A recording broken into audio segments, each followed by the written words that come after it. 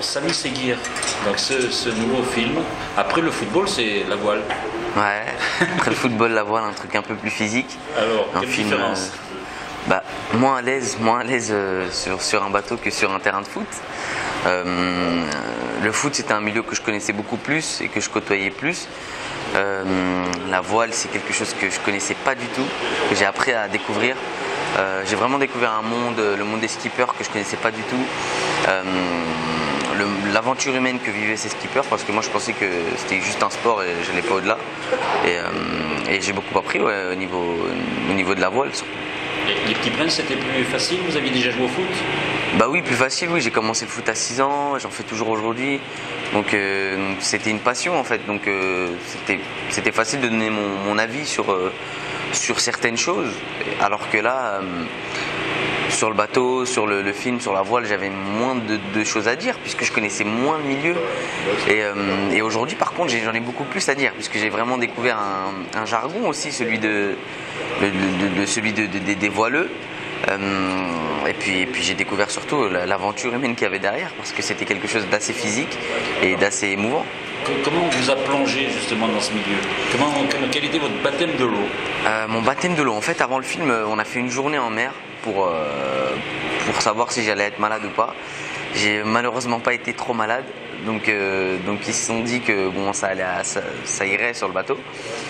Par contre, les trois premiers jours de, tournage, c'était, on a eu une mer, une mer horrible. C'était des conditions de tournage folles. On a eu 35 nœuds de vent, donc j'étais malade, vraiment très malade. Et, euh, et puis après, ça, ça allait un petit peu mieux. Alors, est-ce que c'est quelque chose qu'on utilise pour jouer ou est-ce que euh, c'est malgré le soi? Bah moi ça m'a aidé, bizarrement ça m'a aidé à jouer puisque je, je- je devais jouer quelqu'un qui, qui, qui allait pas bien sur le bateau, qui était pas à l'aise, j'étais vraiment pas à l'aise et puis j'ai aussi beaucoup appris avec, euh, avec François Cluzet qui m'a notamment appris de de, de, de pas- de pas jouer, de ne pas inventer des émotions et de réellement vivre les choses. On a eu l'occasion de, de- et la chance de, de réellement vivre les choses, de, réellement tourner le- tourner ce film dans, de réelles conditions. On est réellement parti en mer, on a réellement vu des baleines, on a réellement vu des dauphins, enfin tout est vrai dans le film. Euh, ce qui fait que j'étais vraiment malade aussi.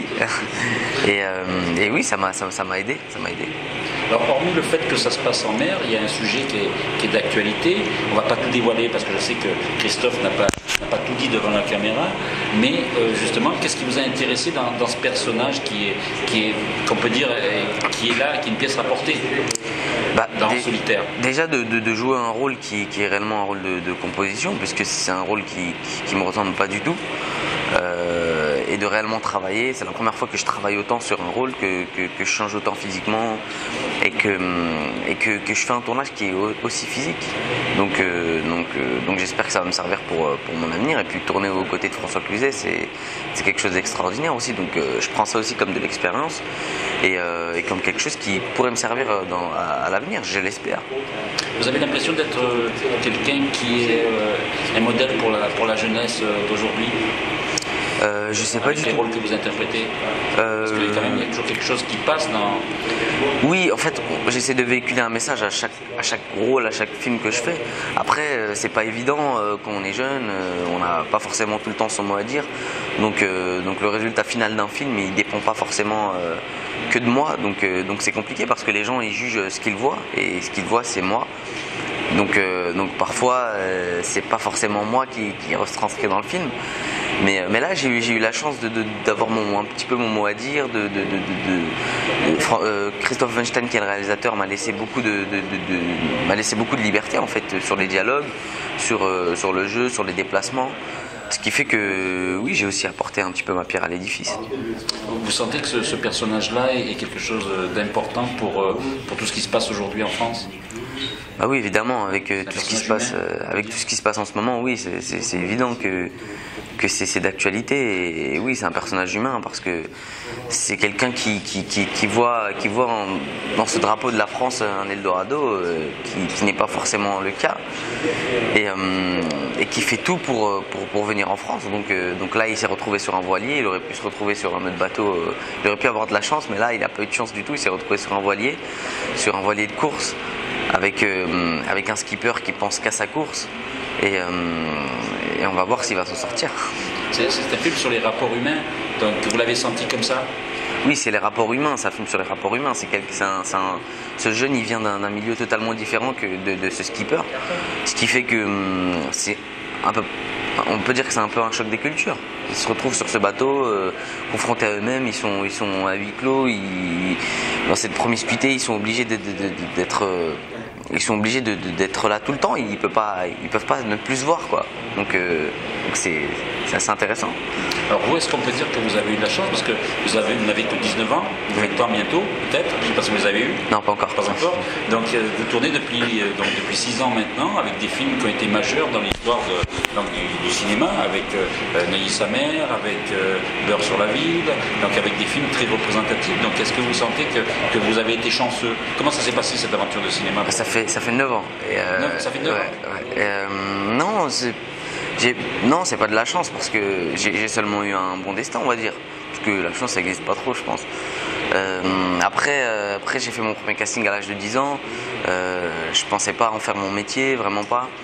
Et, j'ai fait mon premier film. Ensuite, j'ai eu un agent et ça s'est passé très vite en fait, puisque j'allais à l'école en même temps. Donc, donc je, je mettais pas tous mes espoirs là-dedans. Et, et aujourd'hui, maintenant que j'ai mon bac et que, et que je peux ne plus, je peux faire ça tout le temps. Euh, oui, j'aimerais bien, j'aimerais bien en faire mon métier aujourd'hui. Je serais content. Après, j'ai beaucoup travaillé pour. J'espère, euh, j'espère encore beaucoup travailler. Donc vous avez eu votre bac, alors donc vous allez vous arrêter? Euh, bah, Je sais pas en fait. Je, je, vais faire ce que je veux. J'ai mon bac. Ma mère a été contente, donc là, je vais être un petit peu tranquille pendant un petit moment. Et, euh, et si j'ai envie de reprendre des études, ce serait des, études de langue. Et, et, pourquoi pas des études, des études cinématographiques pour peut-être un jour passer derrière la caméra. En tout cas, euh, Christophe Offenstein a dit de vous euh, le plus grand bien. Ah ouais, bah c'est gentil. Bah, il disait pas tout le temps ça. C'est pour ça qu'on espère que vous continuez. Bah, j'espère aussi, j'espère aussi. Merci beaucoup. Voilà. Et pas en solitaire. Non, pas en solitaire cette fois. parce que le cinéma, vous avez rendu compte que c'est un travail de groupe. Bah oui, on n'est jamais en solitaire, on n'est jamais seul. Sur le bateau, on était 18, je vous l'ai dit.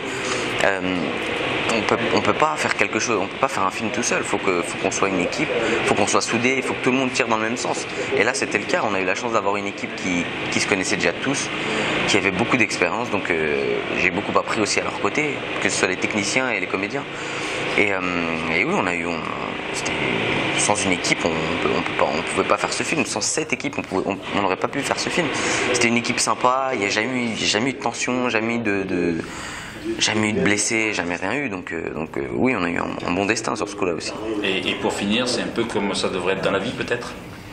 Bah, Normalement, oui. Normalement, ça devrait être comme ça dans la vie. Euh, personne ne devrait être seul et, et personne ne peut, ne peut réussir certaines choses seul. Donc euh, c'est pour ça que c'est pour ça que y a des les gens font des choses ensemble et il faut que les gens avancent dans le même sens pour que pour réussir. Si tout le monde fait ce qu'il veut, je pense que ça ça peut pas trop marcher. En tout cas, ben, on vous remercie puis bientôt à l'affiche du en solitaire, 6 novembre. Merci, Samy. Merci. C'est